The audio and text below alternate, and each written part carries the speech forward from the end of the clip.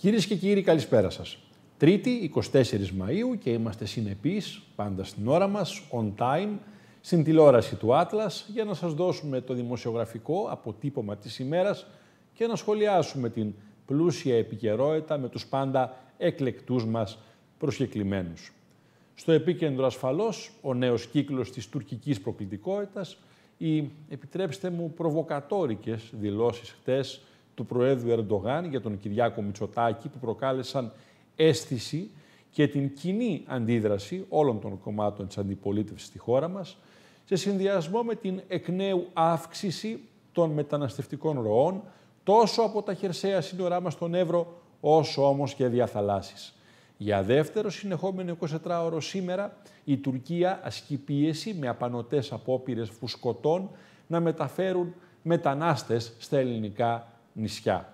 Το λιμενικό χρειάστηκε να επέμβει από τις πρώτες πρωινές ώρες σήμερα σε τουλάχιστον τέσσερις περιπτώσεις, προκειμένου να αποτρέψει φουσκωτά με περίπου 140-150 μετανάστες να προσεγγίσουν Λέσβο, Χίο και Σάμο. Πλέον όλοι οι Ιωνοί προμηνύουν πως θα έχουμε ένα θερμό καλοκαίρι και όχι μόνο εξαιτίας του καύσωνα. Η Άγκυρα φέρεται ιδιαίτερα ενοχλημένη από τα αποτελέσματα της επίσκεψης του Πρωθυπουργού στις Ηνωμένες Πολιτείες και ενεργοποιεί, όπως φαίνεται, εκ νέου, πέρα από τις συνήθεις υπερπτήσεις πάνω από τα ελληνικά νησιά, το όπλο του μεταναστευτικού. Από την πλευρά της η Αθήνα μένει προσιλωμένη προς ώρας συντακτική των χαμηλών τόνων, δεν θα πέσουμε στην παγίδα της όξυνσης που προσπαθεί να επιβάλλει η Τουρκία. Εμείς αποφασίζουμε αν πρέπει να οξύνουμε την κατάσταση, ξεκαθάρισε σήμερα μετά την επιστροφή του από την Αλβανία ο Υπουργός των Εξωτερικών, ο κύριος Νίκος Δένδιας. Ερωτηθείς μάλιστα αν υπάρχει πεδίο ελληνοτουρκικού διαλόγου, ο κύριος Δένδιας απήντησε πως διάλογος με καθεστώς ύβρεων έχει μια δυσχέρεια, για να το πω κομψά. Πρόσθεσε δε ότι εμείς έχουμε την επιθυμία να υπάρχει επικοινωνία, αλλά δεν μπορεί να γίνει διάλογος όταν έχουμε υπηρετήσεις. Προφανώς κάθε γέφυρα διαλόγου αυτή τη στιγμή είναι κομμένη, την έκοψε η Άγκυρα με τη συμπεριφορά της. Το μείζον ερώτημα είναι πού το πάει η Τουρκία. Καλούμαστε να είμαστε έτοιμοι για έναν νέο γύρο υβριδικού πολέμου. Θα ζήσουμε και πάλι τα γεγονότα του 20 στον Εύρο. Ζητούμε απαντήσεις από τον κύριο Βαγγέλη Μπασάρ Μούσα, έγκριτο γεωπολιτικό αναλυτή, διδάκτορα των οικονομικών, καθηγητή. Κύριε Μούσα, καλησπέρα σας και ευχαριστώ πάρα πολύ για την αποδοχή της πρόσκλησης.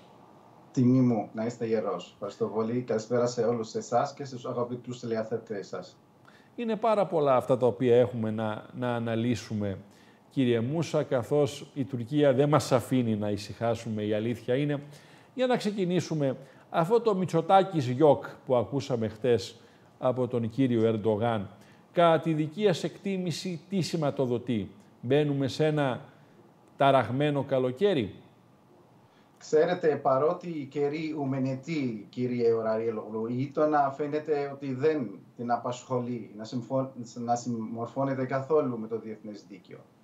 Μάλιστα, ίσως το θεωρεί αβέβαιο, γιατί έχει, το έχει δοκιμάσει ε, σε κάποιες περιπτώσεις να εφαρμόζεται και σε κάποιες να μην εφαρμόζεται και αυτό να έδωσε το άλλοθι, μία να το τηρεί, μία να μην το τηρήσει Σε κάθε περίπτωση εγώ είμαι επιφυλακτικός για τον όρο γιοκ. Μη μας βγει γιοκ μπαλίξ στο τέλος, διότι καταλαβαίνετε ότι όσοι κάνουν και συναλλάσσονται με την γείτονα αντιλαμβάνονται ότι μερικές φορές λένε, μερικές φορές ξελένε λόγω των εξελίξεων. Σε κάθε περίπτωση να μην ψαρώσουμε από τις δηλώσεις και τις στιγμίες αντιδράσεις κατά με. Δηλαδή θεωρώ ότι είναι πολύ σημαντικό να εφιστούμε την προσοχή μας και την ηρεμία μας και διότι αυτή τη στιγμή ε, φαίνεται ότι η Τουρκία εκμεταλλεύεται το κάθε γεγονός πραγματικά να πυροδοτήσει προς κάθε κατεύθυνση την κατάσταση. Έτσι. Ε, Όντως το καλοκαίρι θα είναι θερμό, αλλά δεν θα είναι θερμό μόνο επειδή θα υπάρχει διαπραγμάτευση για το θέμα του μεταναστευτικού και είναι ένα μέτρο ποιήση. Από το 2015, κύριε Ραίλογλου, ξέρουμε ότι το μεταναστευτικό και το προσφυγικό δεν ήταν θέμα άλλο παρά μέσο μετανα... μεσοποίησης που χρησιμοποιούσε η γείτονα. Στη Συρία, αν θέλετε, και στην Ελλάδα. Οι δύο χώρες ήταν, ήταν, ήταν αναλώ, αναλώσιμες προς αυτή την κατεύθυνση. Και τώρα φαίνονται πως οι μετανάστες αυτή τη στιγμή μειώθηκε η χρησιμότητά τους και πότε αυτή τη στιγμή θα πρέπει να, να τους επιστρατεύσουμε, να δουλέψουμε για το λογαριασμό μας με, με, με, άλλο πρίσμα. Δυστυχώς, για άλλη μια φορά οι άνθρωποι ακόμα είναι, είναι ας πούμε, ένα αντικείμενο διαπραγμάτευσης για την επίλυση γεωπολιτικών ε, διαφορών. Ακριβώς. Αυτό, αυτό είναι το πλέον ανησυχητικό, ότι θα χρησιμοποιηθούν άνθρωποι, ψυχές, ώστε να επιτευχθούν οι όποιοι γεωπολιτικοί στόχοι της Άγκυρας. Τώρα, επειδή εσείς γνωρίζετε καλύτερα, νομίζω, από όλους στην Θεσσαλονίκη το τι συμβαίνει στον αραβικό κόσμο, η Τουρκία, η αλήθεια είναι ότι έχει φιλοξενήσει, φιλοξενεί εκατομμύρια πρόσφυγες αυτή τη στιγμή. Αυτό είναι ένα πραγματικό γεγονός. Διαβάζω, ακούω, μαθαίνω ότι θέλει να επιστρέψει, δεν είμαστε μόνο εμείς, θέλει να επιστρέψει ένα εκατομμύριο Σύρους πρόσφυγες στην πατρίδα τους. Ισχύει αυτή η πληροφορία. Και ένα δεύτερο υποερώτημα. Είστε σε θέση να γνωρίζετε από τις πηγές σας αν ε, υπάρχει, εν πάση περιπτώσει, ένα κλίμα ώστε να πιεστούν εντός ή εκτός εισαγωγικών ε, Άραβες, οι οποίοι Σύριοι ή οτιδήποτε, πρόσφυγες, μετανάστες που είναι αυτή τη στιγμή σε ε, χώρους συγκέντρωσης στην Τουρκία προς τα δικά μας σύνορα.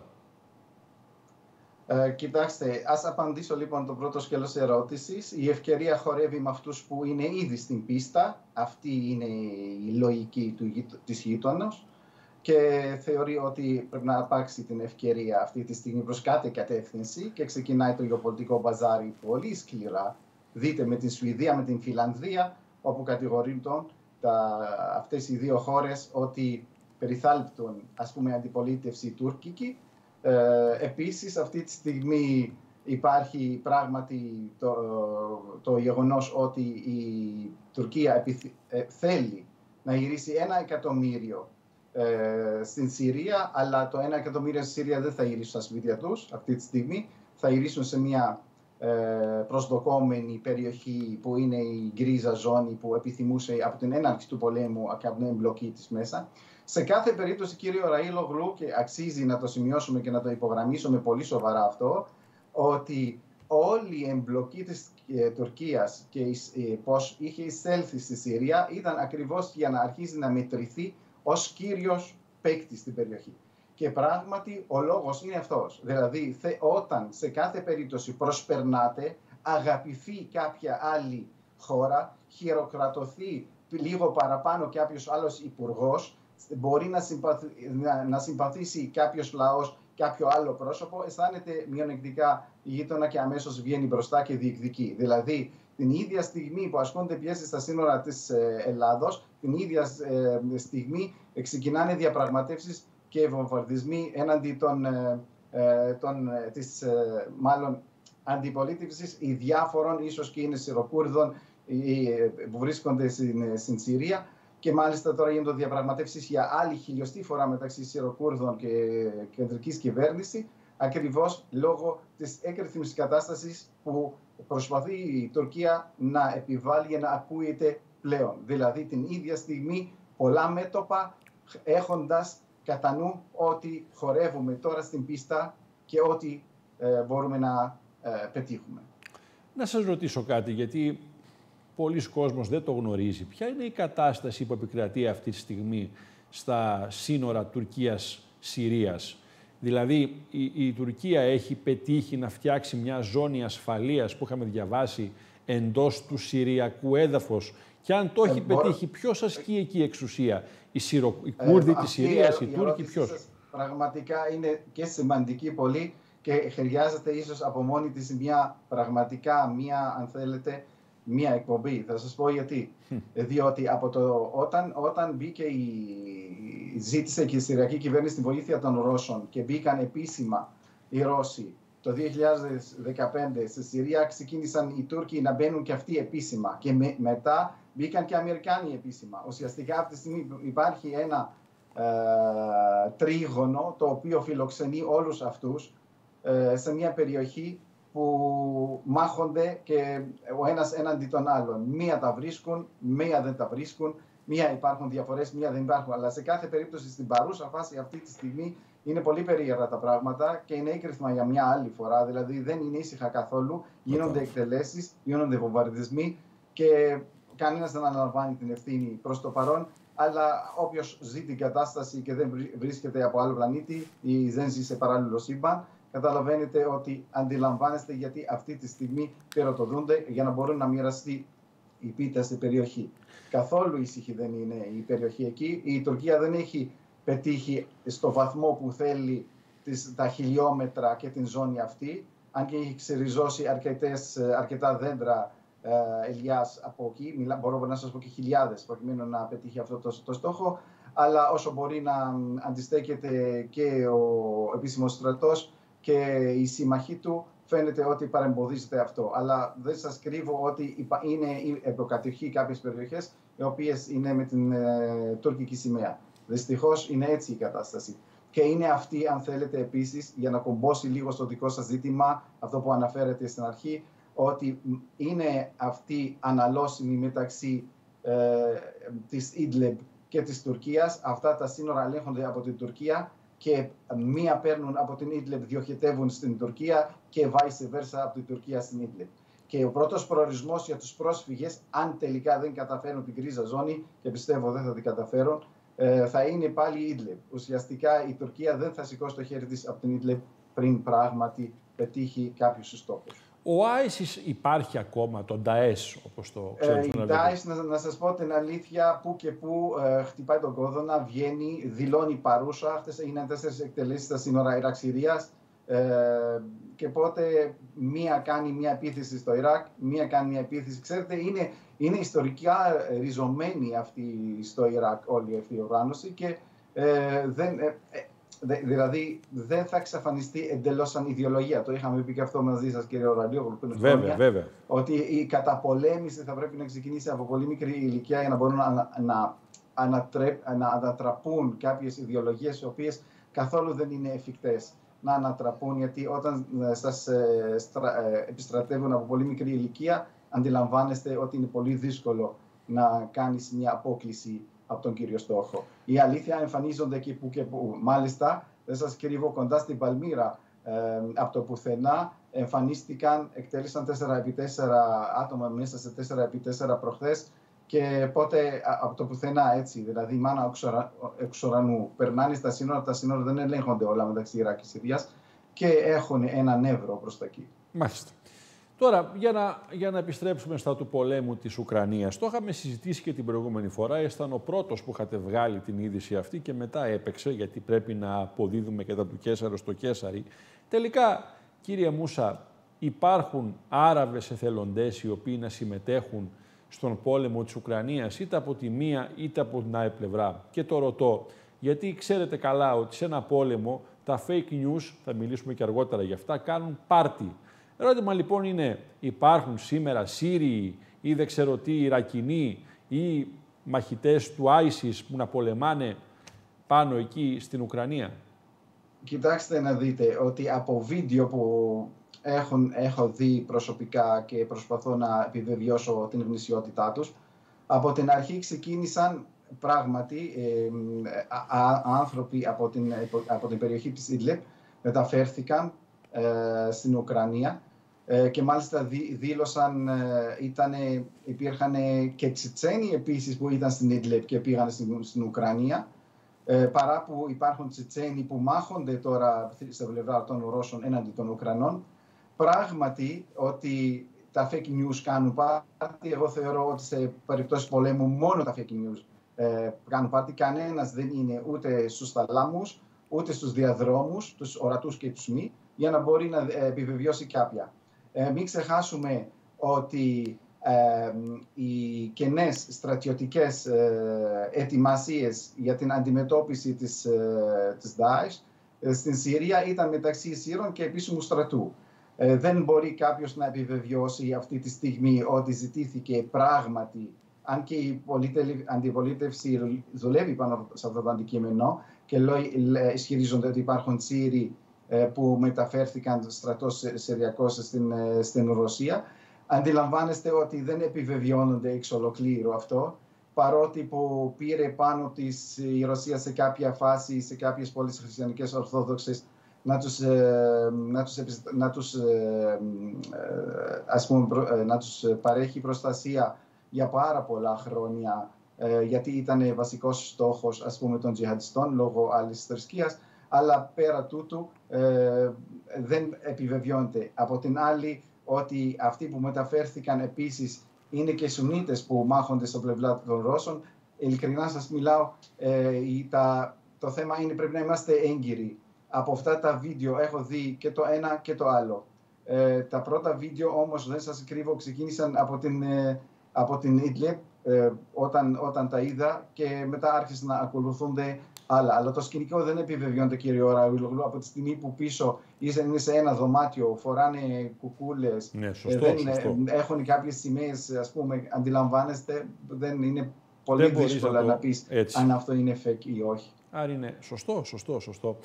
Κάτι που σίγουρα δεν είναι fake όμως είναι μια είδηση που εσείς ε, ε, δώσατε πως τόνοι σιταριού από τη Ρωσία κατευθύνονται προς τις αραβικές χώρες. Τώρα δεν ξέρουμε αν το σιτάρι είναι ναι, ναι, σωστά, όχι, ουκρανικό. Αυτό, αυτό είναι ολός σωστά και ο Παγκόσμιος Οργανισμός. Αν θέλετε, ε, μπορεί κάποιος, αν θέλει και μέσω Google Earth, μπορεί να παρακολουθήσει την γραμμή και τι κίνησης των λιμανιών της Ρωσίας. Αυτό είναι εύκολο.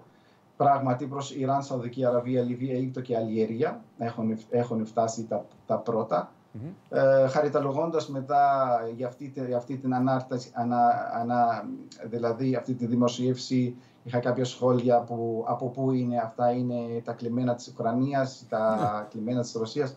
Ξέρετε, εμείς προσπαθούμε να βγάλουμε είδηση η οποία είναι έγκυρη. Ε, ε, όταν φεύγουν αυτά τα πλοία από την Ρωσία, φύγαν αυτά από την Ρωσία. Τώρα η προέλευση του σιταριού ε, δεν ήμασταν σε διαπραγματεύσεις ούτε στην, ε, στην συμφωνία εκεί για να δούμε από πού προήλθαν. Εγώ καθαρά για την κίνηση ως οικονομολόγος για να μπορώ να ελέγχω λίγο τον γενικό δίκτυο τιμών του αγαθού αυτού, γιατί με, με, ας πούμε, ε, με απασχολεί υπερβολικά. Ε, παρακολουθώ τις κινήσεις για να μπορώ να, να δω πού προς τα πού πάμε. Και όπως παρακολουθώ και τις κινήσεις για το ρούβλι, για τις κυρώσεις και για τον ε, αυτό, χρυσό κανόνα. Ο, το, μας... το, ρούβλι, το ρούβλι το οποίο αυτό προκαλεί μεγάλη εντύπωση, παρά τις κυρώσεις, ισχυροποιείται. Και στο τέλος του δρόμου αποδεικνύονται σωστοί αυτοί που έλεγαν πως με τις κυρώσεις τελικά στη Ρωσία πυροβολούμε τα πόδια μας. Ε, πραγματικά είναι έτσι. Ξέρετε τι, το θέμα είναι για να απαντήσει κάποιος όλη αυτή τη διαδικασία. Θα πρέπει να δούμε και ίσως στην εκπομπή σας θα ακουστεί πρώτη φορά ότι η διεθνώ η τιμή του χρυσού αποτιμάται σε δολάρια και υπολογίζεται ανά ουγγιά. Τα τελευταία χρόνια να ξέρετε ότι η παγκόσμια οικονομική κατάσταση είναι ας πούμε γεμάτη αβεβαιότητα. Αυξώνοντας λοιπόν το εμπόριο και τις επενδύσεις σε χρυσό, ε, σε μεγάλο βαθμό λόγω της κατάστασης. Οι τιμές του χρυσού αρχίζουν και μετα, μεταβάλλονται ανάλογα από τον όγκο των επενδύσεων και της κερδοφορίας. Σας το λέω γιατί αυτό. Γιατί προς το παρόν εμείς γνωρίζαμε ότι οι τιμές του χρυσού ε, ελέγχαν, ε, ελέγχονταν και ή δούλεψαν ε, βάσει της συναλλαγματικής ισοτιμίας ή του δολαρίου ή του ευρώ ή της αγγλικής λίρας ή του γεν και τώρα προσθέτουμε το ρούβλι, το οποίο δεν υπήρχε. Φανταστείτε τώρα σε τι κλίμα αυτή τη στιγμή μιλάμε για το πιο σημαντικό αγαθό που δίνει αγοραστική δύναμη στο οποιοδήποτε νόμισμα, στο χρυσό. Και οι αγορές που έχει πραγματοποιήσει η Ρωσία και όχι μόνο η Ρωσία, ακόμα και η Λίβανος σε χρυσό, είναι, μιλάμε τεράστιες, σε τεράστια ποσά. Και αυτό είχε ξεκινήσει και πριν τον πόλεμο στην Ουκρανία, γιατί ήξεραν ότι η διαφορά μεταξύ των δύο νομισμάτων, δολαρίου ας πούμε και ευρώ, δεν ήταν τόσο, ε, τόσο, ε, τόσο ήσυχη και πότε στράφηκαν όλοι στο χρυσό. Το ρώσικο ρούβλι που ήταν πάντα, ξέρετε, επίκεντρο και αν θέλετε, αν μου επιτρέπετε η λέξη κοροϊδίας για των δυτικών οικονομικών, ε, οικονομικών αναλυτών, ζει όχι απλά ζει καλύτερα και πετάει στον 7ο ουρανό μπορώ να σας πω. Ε, αυτό σημαίνει ότι αυξήθηκε πολύ η ισχύως του νομίσματος αυτού και καταλαβαίνετε δεν μπορώ να διαβάζω αν αυτό αποτελεί οικονομική ήττα στη Ρωσία οι κυρώσεις. Ε, τουλάχιστον σαν οικονομολόγος, πολύ ταπεινά. Ε, φαίνεται πως έχουν ξεπεράσει αυτό το πρόβλημα. Αλλά εδώ επίσης πρέπει να πούμε κάτι σημαντικό. Ε, γνωρίζετε ότι αν θα συνεχιστεί η αύξηση της αγοραστικής δύναμης του ρουβλίου έτσι με αυτόν τον ρυθμό θα πραγματικά θα έχει πρόβλημα η Ρωσία. Γι' αυτό και η Κεντρική Τράπεζα της Ρωσίας ξεκινάει και θέλει να, δει, να ελέγχει την αύξηση αυτή γιατί σε λίγο θα έχουν πρόβλημα με τις επενδύσεις και θα έχουν και πρόβλημα στην, στην ανταγωνιστικότητα διότι θα είναι πολύ ψηλή η τιμή τους ε, τιμή του νομίσματό τους για να πραγματοποιούν συναλλαγματικέ ισοτιμίε με αυτό. Και μάλιστα ναι. ξεκίνησαν ήδη συναντήσεις για, για να βάλουν ταβάνι στην αύξηση της αγοραστικής δύναμης του. Αυτό είναι άκρο στο άλλο τώρα θα πάμε. Απλά, απλά κύριε Μούσα, ξέρετε, ακούμε, ακούμε, ακούμε πώς πολεμούν τη Ρωσία οικονομικά για να χτυπήσουν το ρούβλι και για να, πάση περιπτώσει, ο, ο πρόεδρος Πούτιν να υποστεί τις συνέπειες και να αποχωρήσει και να τερματίσει αυτόν τον πόλεμο. Και την ώρα που τα ακούμε αυτά, υπάρχουν εδώ, τα βλέπουμε, το ρούβλι ισχυροποιείται, πετρέλαιο πουλούν οι Ρώσοι σε Ινδία, Κίνα, χώρες. Τουρκία. Και όχι μόνο. Η Τουρκία είναι κύριε πλέον. Η Τουρκία κάνει. Τέλος πάντων. Την ίδια ώρα πουλάει σιτηρά και τα χρησιμοποιεί προφανώς τα εργαλειοποιεί προς τις αραβικές χώρες. Ε, άρα λοιπόν, ποιες είναι οι συνέπειες για τους Ρώσους; Και εδώ έρχεται αυτό που συζητάμε, ποιες είναι οι συνέπειες για όλους τους λαούς της Ευρώπης; Και να μείνουμε στον δικό μας, με 2,5 ευρώ τη βενζίνη, με, με, με, με, με, με, και με τον κίνδυνο μιας επισητιστικής κρίσης να είναι πρώτων πυλών. Ε, είναι πολλά τα ερωτήματα τα οποία προκύπτουν κατά πόσο είναι χρηστικές τελικά αυτές οι κυρώσεις.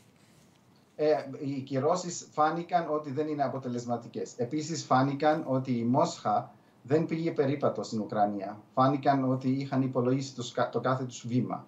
Και φαίνεται ότι από τον νόμο δράσης ανάδρασης επιβάλλεται κάτι, απαντούν κάτι και πηγαίνει έτσι. Και εγώ σας είχα πει ότι ο πόλεμος αυτός δεν θα είναι για λίγο. Θα είναι για πολύ. Και οι επιπτώσεις του δεν θα είναι για λίγο. Επίσης θα είναι για πολύ. Και η προσαρμοστικότητα πάνω στις επιπτώσεις αυτές δεν θα είναι για λίγο. Θα είναι για πολύ. Και οπότε ε, όλο το, γενικά όλο το, το, όλο το κλίμα εγκυμονεί να είμαστε προσεκτικοί και εγκυμονεί ότι να προβλέπουμε ότι θα υπάρχουν πιέσεις πραγματικά οικονομικές στις τσέπες μας. Για να μην πούμε κάτι άλλο, γιατί πραγματικά είπαμε να πάρουμε μια ανάσα από μια πανδημία, τελικά ήρθε, προδοθήκαμε, δηλαδή στην πανδημία προσαρμοστήκαμε θα, κρατήσουμε την και τώρα δεν μπορούμε να, να, δεν μπορούμε να προσαρμοστούμε. Πείτε μου λίγο κύριε Μούσα, γιατί ίσως είστε από τους λίγους που γνωρίζουν, οι τιμές του σιταριού στις χώρες του αραβικού κόσμου έχουν αυξηθεί, βλέπουν Όχι και αυτοί έτσι τόσο. Γενικότερα, κύριε Οραήλογλου, πολύ σημαντική η ερώτησή σας. Ξέρετε, υπάρχουν χώρες, μάλλον χώρες ε, αραβόφωνες ή αραβικές, οι οποίες αυτή τη στιγμή δεν θα τους αγγίξει ο πληθωρισμός με τον βαθμό του καλπάζοντα πληθωρισμού που υπάρχει στην Ελλάδα ή στην Ευρώπη. Δηλαδή, μιλάμε σε κάποιες χώρες όπως ε, παράδειγμα, στα Αραβικά Εμμυράτα μπορεί να φτάσει ο πληθωρισμός 2,7. Την ίδια στιγμή που σε κάποιες άλλες χώρες μπορεί να φτάσει 27%. Γιατί αυτές οι χώρες γενικά, ακόμα και μεταξύ τους και μέσα στο ΟΠΕΚ, οι χώρες που είναι κοντά και δεν εμπίπτουν στις κυρώσεις και δεν έχουν επιπτώσεις στις κυρώσεις, μπορεί μία να στηρίξει την άλλη, ειδικά στην ενέργεια, είτε φυσικό αέριο είτε στο πετρέλαιο. Γι' αυτό βλέπετε ότι θα υπάρχουν καινούριες δυνάμεις. Υπήρχαν, αλλά τώρα θα είναι ουσιαστικές, όπως η Αλγερία, όπως η Αίγυπτος πάει να παίξει ρόλο. Ναι. Ε, καταλαβαίνετε ότι είναι χώρες οι οποίες ε, αυτή τη στιγμή θα κλείνουν ε, και ίσως και είναι ο λόγος που η Σαουδική Αραβία και τα Αραβικά Εμμυράτα δεν πήραν μέρος.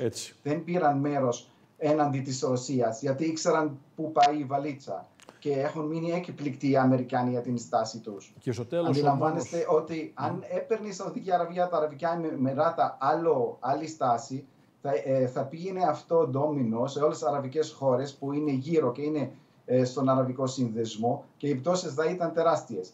Εν κατακλείδη ότι υπάρχει μια αύξηση γιατί γνωρίζετε από Ουκρανία και την Ρωσία παίρνανε το σιτάρι, αλλά όχι στο μέγεθος που υπάρχει πραγματικά ε, στην Ευρώπη εγώ, και κυρίως στην χώρα εγώ μας. Εγώ καταλαβαίνω ότι στο τέλος η μόνη που θα την πληρώσει είναι η Ευρώπη όλη αυτή την ιστορία, για να τα πούμε πραγματικά τα πράγματα απλά και λαϊκά. Λοιπόν, κύριε Μούσα, πάντα η συζήτηση μαζί σας είναι ευχάριστη και πάντα πολύ πολύ χρήσιμη. Τηλεοπτικός χρόνος πάντα όμως επίσης αμήλικτος. Ένα πολύ μεγάλο ευχαριστώ για την παρουσία σας σήμερα στην τηλεόραση του Άτλας. Να είστε καλά, καλή επιτυχία στην εκπομπή σας. Καλή συνέχεια και καλή δύναμη. Να είστε γερός. Ευχαριστώ. Ήταν ο κύριος Βαγγέλης Μπασαρμούσα, γεωπολιτικός αναλυτής, άριστος γνώστης των αραβικών θεμάτων. Νομίζω μια χρήσιμη συζήτηση στις μέρες μας. Πάμε να πάρουμε μια ανάσα, διαφημίσεις και επιστρέφουμε ευθύς αμέσως.